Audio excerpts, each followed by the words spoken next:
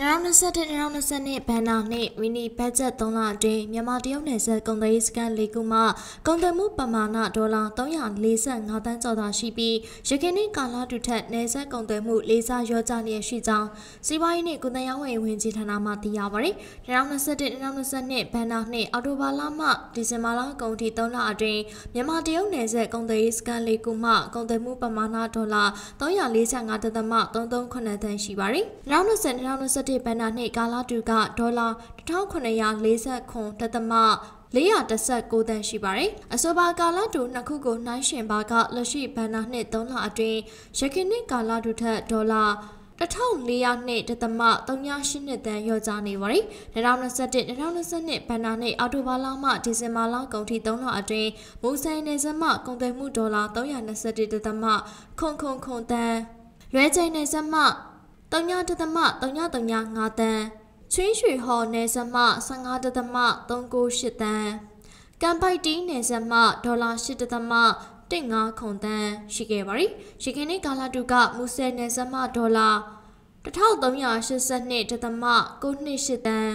လွဲကျင်းနယ်စမဒေါ်လာ83.558တန်းချင်းရွှေဟော်နယ်စမ160.491တန်း ။ကန်ပိုက်တီနယ်စပ်မှဒေါ်လာ130.442တန်းရရှိခဲ့ပါတယ်။အဆိုပါကာလတူနှစ်ခုကိုနှိုင်းယှဉ်ပါကလက်ရှိဘဏ္ဍာနှစ်3လအတွင်းနယ်စပ်ကုန်သွယ်မှုမှာယခင်နှစ်ကာလတူထက်မူဆယ်မှဒေါ်လာ1061.153တန်း၊လွယ်ကျယ်နယ်စပ်မှဒေါ်လာ83.553တန်း၊ချင်းရွှေဟော်နယ်စပ်မှဒေါ်လာ145.393တန်း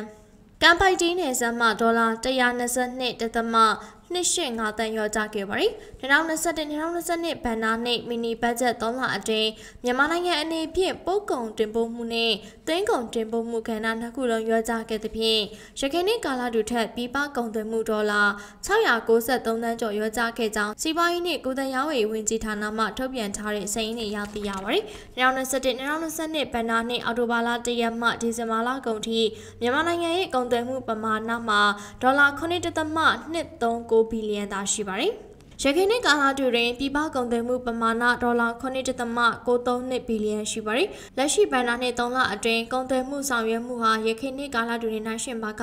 ဒေါ်လာ693.48တန်လျော့ကျခဲ့ခြင်းဖြစ်ပါတယ်။